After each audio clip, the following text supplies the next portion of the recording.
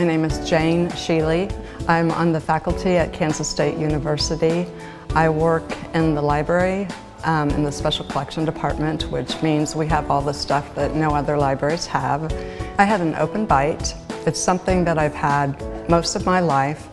I had great difficulty eating. I couldn't chew food very well. I always felt like I was kind of choking and it made it so I kind of feared eating. I went to see several orthodontists and several oral surgeons and they all said the same thing.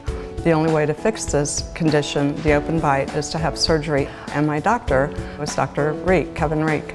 And we were all very impressed with him and the attention that he paid me. He spent about 45 minutes with me during a consultation and at that time I decided to go ahead and have the surgery.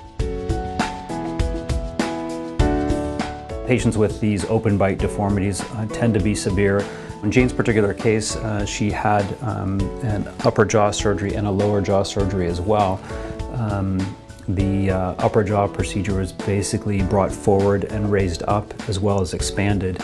Uh, the lower jaw uh, was then advanced uh, as well. And then patients are typically wired together in the operating room for these procedures, and that is holding the bite in the new position. But once we have the hardware in position, we can cut the wires and they're able to open and close immediately. I sort of look at these cases uh, as a team approach. We do these uh, cases uh, nowadays with the use of uh, CT imaging and then uh, uh, with a, a, very elite group of biomedical engineers.